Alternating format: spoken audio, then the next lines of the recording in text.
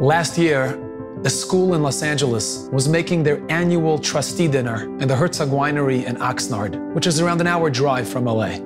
They flew in this incredibly talented violinist, Shimi Weitzhandler, all the way from Israel to play at the event and entertain the guests. After we landed, my friend came to pick me up from the airport, and I put the violin and my stuff in a trunk, and we went to his house. When they got to the house, Shimi took out a suitcase to unpack, but left his violin in the trunk, knowing that he'll need it once they get to the winery. And I went to change to get prepared for the event. A couple hours later, they drove up to Oxnard. They got to the winery a few minutes before the event was scheduled to start. Shimi got out of the car, opened the trunk, and was in for the shock of his life. I'm opening the trunk to take the violin. I don't see it there. And I'm moving away some stuff. Maybe it's underneath and it's not there. His violin was missing.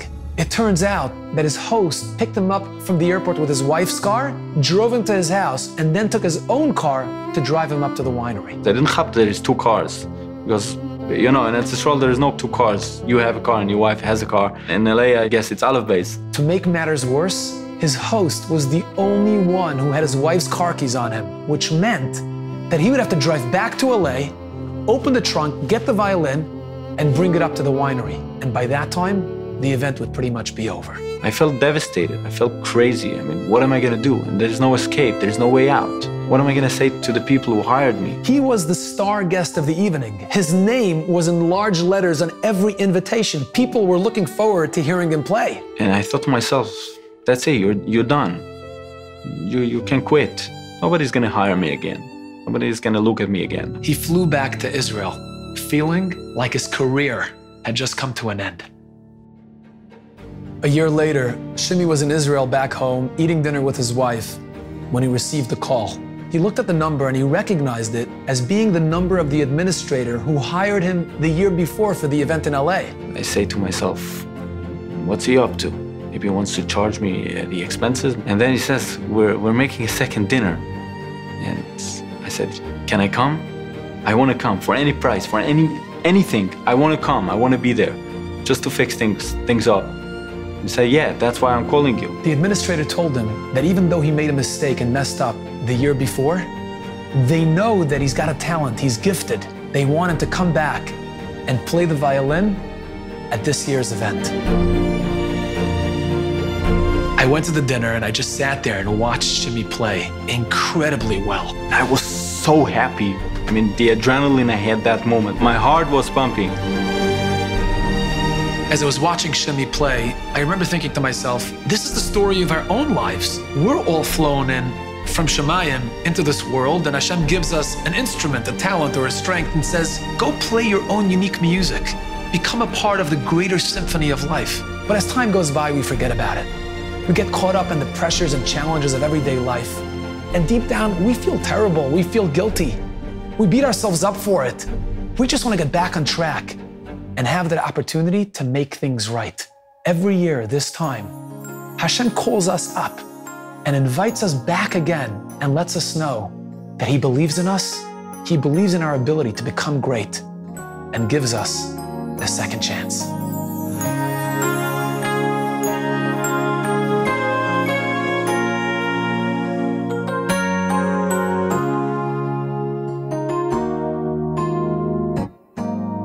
Hashem flies us from a faraway place right beneath his throne. He graces us with the talent or strength of our very own. He says, Go and fill your purpose in the life that you lead. I have given you whatever you may need.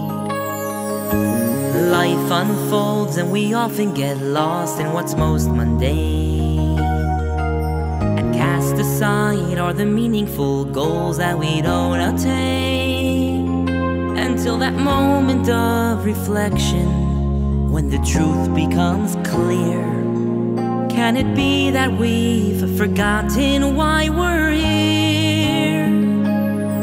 But Hashem still knows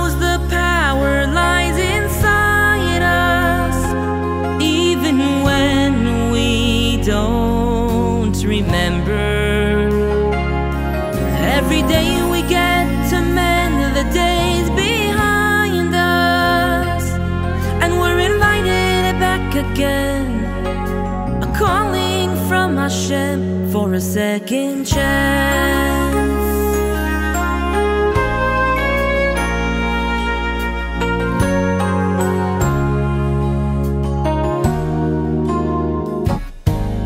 Although at times we can make mistakes, we must not give up.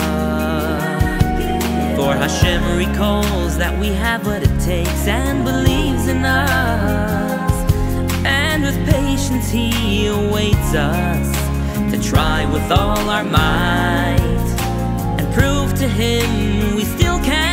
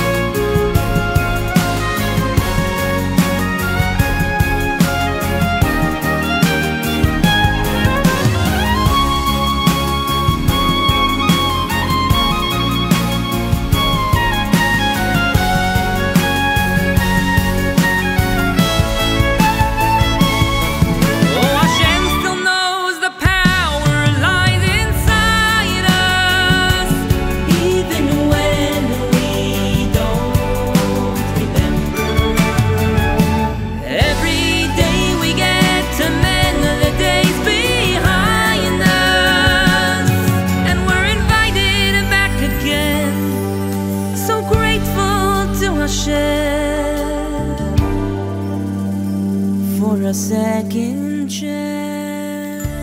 Over the next few days, let's embrace the opportunity Hashem gives all of us for a second chance and make a commitment to never stop trying to play your own unique music in the symphony of life.